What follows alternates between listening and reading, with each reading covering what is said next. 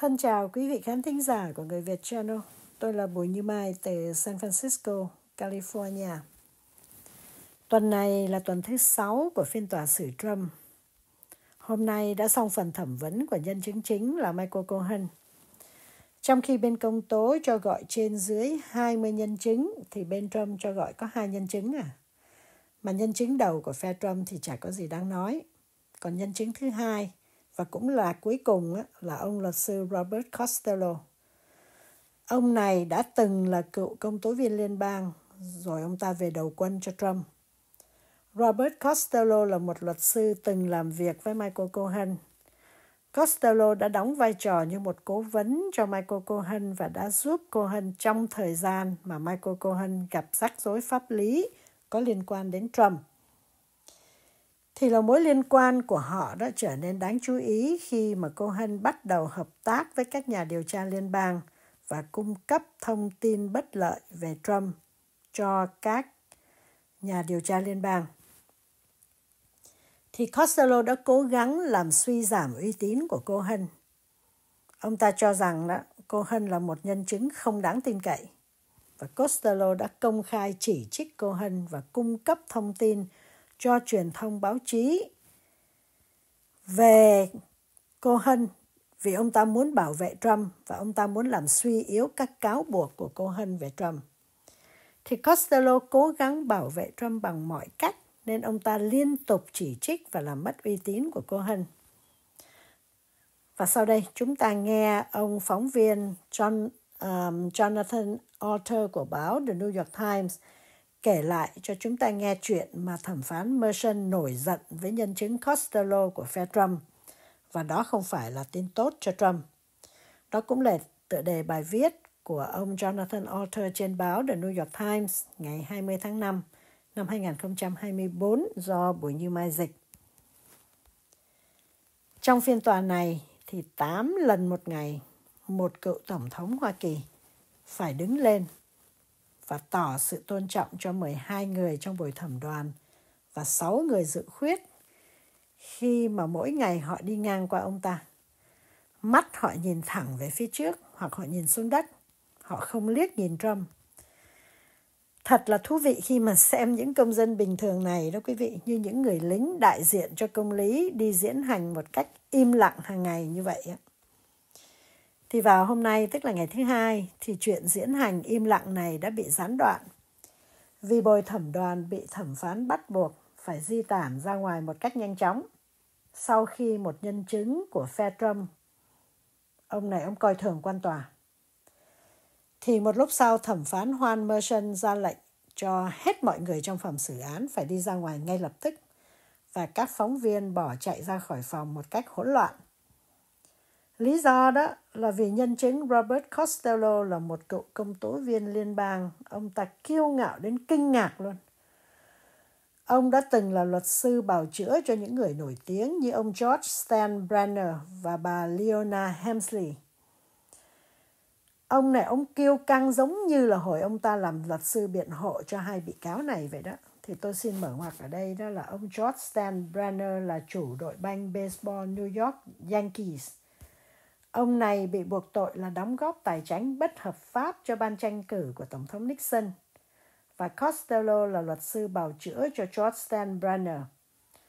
Còn về bà Leona Hemsley á, thì bà là một à, bà trùm bất động sản của New York. Bà giàu lắm quý vị. Thì bà bị kết tội gian lận thuế. Bà này bà nói một câu rất là nổi tiếng. Bà tuyên bố như thế này nè. Chỉ có dân thấp hèn mới đóng thuế thôi. Và Robert Costello cũng là luật sư của bà này luôn. Thì đây là hai vụ án nổi đình đám trong khoảng 1970-1980.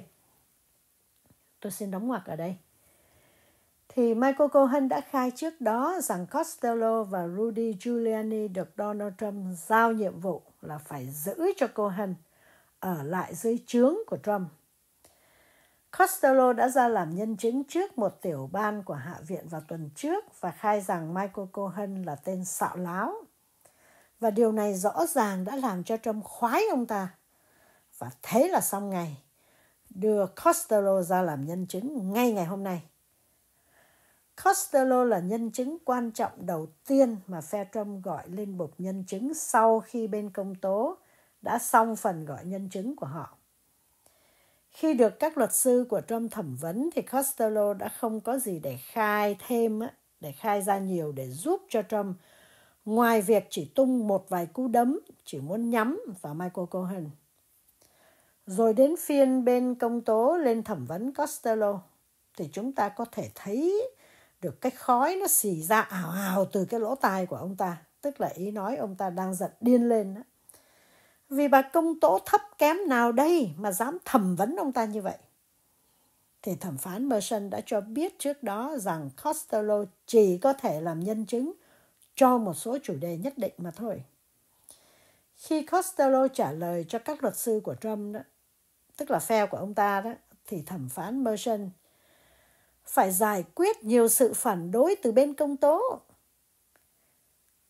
Và khi mà thẩm phán Merson cho bên công tố tức là chấp nhận cái sự phản đối của bên công tố đó thì cái ông Costello này ông không coi ông thẩm phán Merson ra gì ông ông cứ tỉnh bơ ông trả lời câu hỏi của cái bên luật sư của Trump.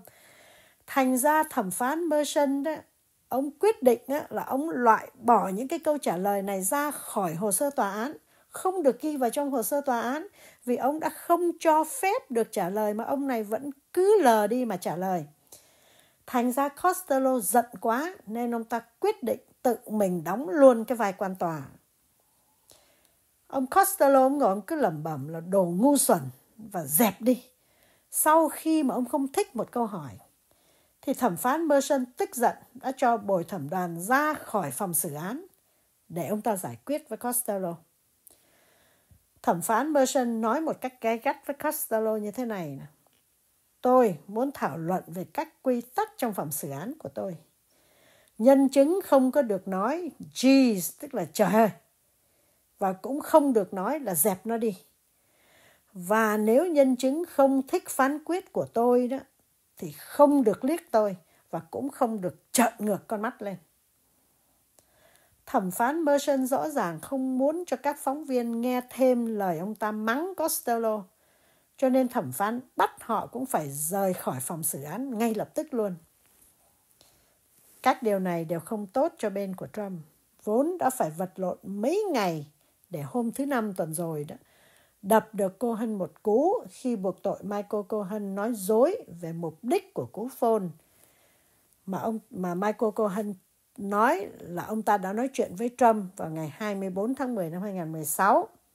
Và hôm nay họ đập Michael Cohen thêm một cú. Và Cohen đã thừa nhận rằng anh ta đã chuyển 20.000 đô la tiền mặt bỏ vào một bịch giấy để trả cho công ty uh, Redfinch là một công ty chuyên sử dụng phương pháp thăm dò gian lận, ma mãnh để có kết quả thăm dò với số điểm cao cho Trump và Michael Cohen bỏ vào túi riêng số tiền 30.000 đô la và bị luật sư của Trump buộc tội là ông ta ăn cắp. Nhưng mà Trump còn tệ hơn khi Red Finch làm thăm dò gian lận cho ông ta. Để mà, tức là Trump kêu Red Finch làm thăm dò gian lận cho ông ta để lọt được vào danh sách những nhà kinh doanh nổi tiếng nhất của thế kỷ thứ 20. Đây chỉ là kiểu lường gạt cổ điển của Trump thôi thì bồi thẩm đoàn có thể kết luận rằng tất cả nhé, từ bị cáo đến các nhân chứng đều là những tên xạo láo, những tên dối trá. Và bồi thẩm đoàn có thể họ có lý do hợp lý để họ nghi ngờ hết tất cả mọi lời khai của những người này. Thì tại thời điểm này, đó có thể là hy vọng tốt nhất của Trump để tránh bị kết án. Kính thưa quý vị, đó là bài viết của Jonathan Alter trên báo The New York Times. Sáng nay thì luật sư Todd Blanche của Trump khi thẩm vấn Michael Cohen đã hỏi Michael Cohen là có phải ông ăn cắp 30.000 đô la của Trump hay không. Thế như là bài viết trên có đề cập đó quý vị. Thì Michael Cohen thừa nhận là anh ta có ăn cắp 30.000 đô la của Trump. Chuyện nó là như thế này. Michael Cohen thuê một công ty thăm dò ý kiến cử tri. Thì Michael Cohen thuê công ty Redfinch Công ty này chuyên dùng mánh lưới lưu manh dùng cái algorithm là thuật toán một cách lưu manh, ma mãnh để có điểm thăm dò cao cho Trump. Vì Michael Cohen muốn Trump vui. Cho nên trong cuộc bầu cử năm 2016 đó, Michael Cohen mướn cái công ty này nè để mà họ làm một cái kết quả thăm dò ma để cho Trump vui. Trump biết chuyện này và cái công ty này đòi là phải trả cho họ 50.000 đô la. Thì Michael Cohen đưa hóa đơn đòi Trump trả 50.000 đô la cho anh ta rồi anh ta trả lại cho Redfin. Nhưng mà Michael Cohen chỉ trả cho họ có 20.000 thôi và anh ta giữ lại 30.000. Vì Michael Cohen nghĩ đó là công lao của mình. Thì tuần trước, bên công tố đã hỏi Michael Cohen về số tiền 30.000 này nè.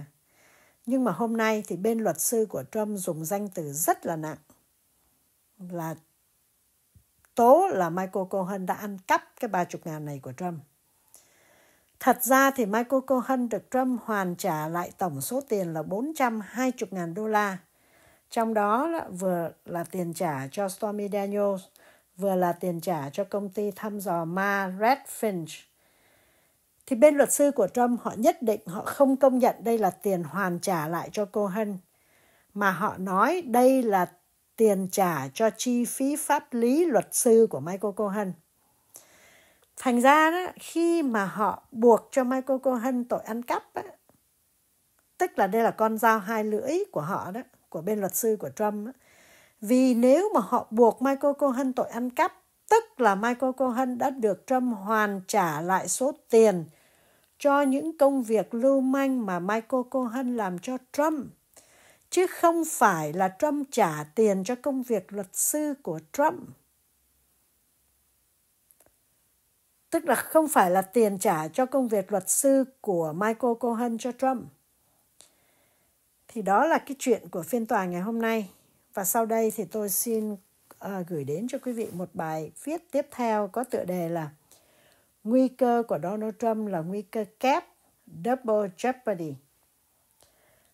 Bồi thẩm đoàn Manhattan có thể có phán quyết sớm nhất là vào tuần tới về phiên tòa xử Trump tội biệt miệng chuyện chơi gái để thắng cử năm 2016. Còn cử tri sẽ ra phán quyết vào tháng 11.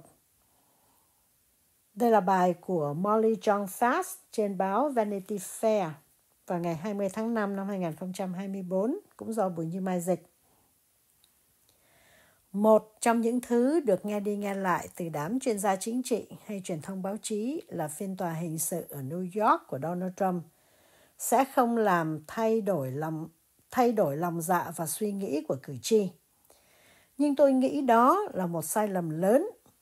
Thực tế là không ai trong chúng ta biết cử tri sẽ làm gì trong 169 ngày sắp tới nè.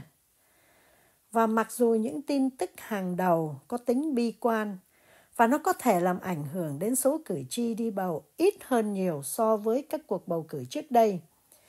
Nhưng mà các hệ thống truyền thông vẫn góp phần lớn cho dân chúng có cái nhìn về một ứng cử viên tổng thống. Bây giờ đầu tiên, chúng ta hãy coi lại kết quả của một cuộc thăm dò ý kiến. Tôi thường không tin vào kết quả của các cuộc thăm dò vì đó chỉ là những thăm dò nhanh chóng nên không chính xác. Nhưng một cuộc thăm dò do ABC và Ipsos thực hiện vào đầu tháng 5 cho thấy là một phần năm số người ủng hộ Trump, đó, tức là 16%, cho biết là họ sẽ suy nghĩ lại sự ủng hộ của mình với Trump. Hoặc là 4% cho biết là họ sẽ rút lại, họ sẽ không ủng hộ nếu mà Trump bị kết án hình sự trong phiên tòa ở New York. Đây là những con số khá lớn quý vị và nó sẽ làm thay đổi số phiếu của cử tri đoàn. Thứ hai là nhiều người nói rằng Trump càng bị truy tố thì sự ủng hộ ngày càng tăng và dùng nó như một bằng chứng cho thấy là phiên tòa xét xử ông ta cũng sẽ không bị ảnh hưởng. Hoặc thậm chí là nó có thể giúp Trump nữa chứ không phải không. Tuy nhiên, rất nhiều cuộc thăm dò cho thấy nó có thể mang tính thiên vị trong khi các dữ liệu khác cho thấy rằng chuyện Trump bị truy tố đã có tác dụng tác đã có ảnh hưởng hoàn toàn trái ngược lại. Thứ ba là ngay cả khi các cử tri sơ bộ của Đảng Cộng Hòa được kích động bởi chuyện Trump bị truy tố, thì đám cử tri này vẫn không phải là những cử tri mà Trump cần phiếu của họ trong cuộc tổng tuyển cử. Họ là những cử tri không ưa cái quá khứ đồi trụy của Trump. Vậy chúng ta hãy bình tĩnh và xét lại cái quá khứ đồi trụy của Trump đi. Không có một tiền lệ nào trong lịch sử về phiên tòa xét xử tổng thống như là Trump đang bị cả. Chỉ có một trường hợp tương tự gần nhất là khi thủ tục luận tội Tổng thống Nixon lúc đó đang được bắt đặt bắt đầu. Và chính Nixon là sự xấu hổ đã luôn tồn tại trong lòng những người của Đảng Cộng Hòa. Mà một số lớn những người này đã bị chê trách khi họ làm chuyện đúng đắn đó là họ chống lại cái chuyện làm bậy bạ của Nixon. Và Nixon phải từ chức chỉ sau một ngày khi ba nhà lập pháp của Đảng Cộng Hòa, bao gồm cả Thượng nghị sĩ Barry Goldwater, đã nói thẳng vào mặt Nixon rằng Quốc hội Cộng Hòa sẽ không ủng hộ ông nữa. Chuyện đó cũng khá giống với những cảnh đã diễn ra vào tuần trước này. Khi đó là Chủ tịch Hạ viện Mike Johnson và một đám lâu la trong Đảng Cộng Hòa, những cái những cái tên mà hiện đang nuôi hy vọng được Trump cho làm phó tổng thống đó thì cái đám này đã lũ lượt kéo vào tòa án nơi Trump đang là bị cáo để mà quỳ gối phủ phục trước Trump bằng cách muối mặt đi tấn công các nhân chứng và bôi nhọ con gái của thẩm phán Merchant. Đó là vào ngày Michael Cohen ra làm nhân chứng về các khoản tiền mà ông ta đã trả trước dùm cho Trump trả cho một cô tài tử phim người lớn là Stormy Daniels để bịt miệng cô ta đang ngoại tình với Trump. Và Stormy Daniels đã mô tả các chi tiết tình dục hấp dẫn với Trump và nó khủng khiếp cho buổi thẩm đoàn vào vài tuần trước đây thôi. Cũng cần lưu ý rằng phiên tòa xét xử Trump các các nhân chứng mà các cử tri trong cuộc tổng tuyển cử tháng 11 này có thể sẽ quên mất luôn. Đó là luật sư London chuyên đi chữa cháy cho Trump là Michael Cohen. Rồi cô tài tử phim người lớn là Stormy Daniels, cô playboy là Karen McDougal và ông chủ báo lá cải David Becker. Trump bị truy tố là cố tình khai man các khoản tiền trả cho Stormy Daniels để bịt miệng cô ta sau khi mà cái đoạn băng Access Hollywood bị tung ra thì trong cái đoạn video đó, Trump tuyên bố tục tiễu và dâm ô về phụ nữ. Trump khai man cái tiền bịt miệng như là tiền đóng góp cho chiến dịch tranh cử của mình. Trump tuyên bố rằng ông ta phải che giấu tiền trả cho Stormy Daniels là vì ông ta muốn giấu vợ.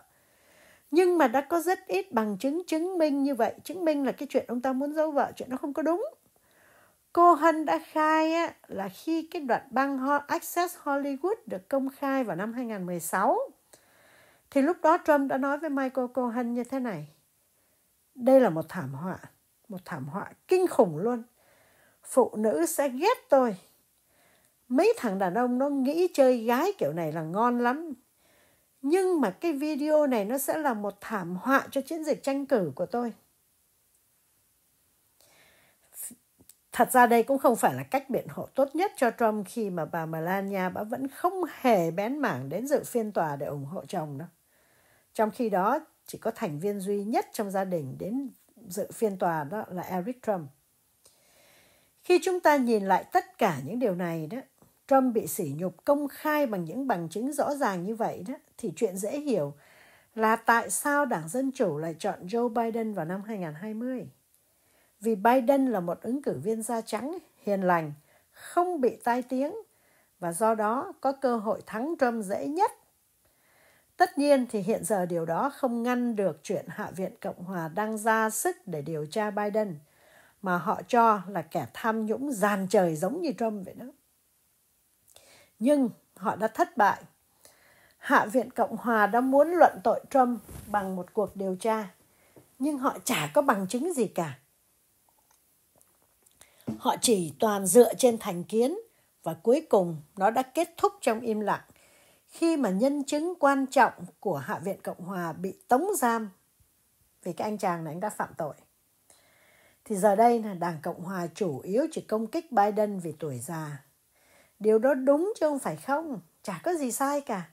Vì ứng cử viên của họ cũng già, vì Trump chỉ thua Biden có 3 tuổi à. Hiện giờ, chúng ta đang đi vào giai đoạn cuối của phiên tòa hình sự xét xử Trump. Sẽ bao gồm những lý luận sau cùng của hai phía và chắc chắn là Trump sẽ không ra khai để tự bào chữa cho mình. Cho dù phán quyết của bồi thẩm đoàn có ra sao đi chăng nữa, có thể được đưa ra vào sớm nhất là vào tuần tới đó. Nếu Trump được trắng án thì coi như là một cách hợp pháp hóa những tuyên bố của Trump về việc phiên tòa này là một cuộc săn đuổi phù thủy chính trị. Nhưng bản án vô tội không xóa bỏ được các câu chuyện lá cải trong phòng xử án đó. Khi mà một cô tài tử phim người lớn đã ra khai rằng cô ta có quan hệ tình dục với Trump, ngay sau khi người vợ thứ ba của Trump vừa mới sinh đứa con thứ năm cho Trump. Không ai biết điều này sẽ ảnh hưởng như thế nào đến bầu cử tháng 11. Nhưng mà nếu ai đó, đó cho rằng phiên tòa sẽ hoàn toàn không có ảnh hưởng gì đến cuộc bầu cử, thì tôi nghĩ có thể người đó có kết luận quá vội vã đó. Kính thưa quý vị, đó là bài viết của Molly John Fast trên báo Vanity Fair. Thì chúng ta sắp tiến gần đến ngày có phán quyết về số phận của Trump rồi quý vị. Nhưng trước khi vụ án được giao cho bồi thẩm đoàn đó, thì hai bên luật sư của Trump và bên công tố sẽ có phần kết luận của họ. Và chúng ta lại sẽ cùng nhau phân tích tiếp nha quý vị nha. Kính thưa quý vị, đó là bài dịch và bài nhận định cho ngày hôm nay. Xin kính chào quý vị và xin kính chúc quý vị có ngày uh, một ngày thật vui và bình yên. Kính chào quý vị ạ.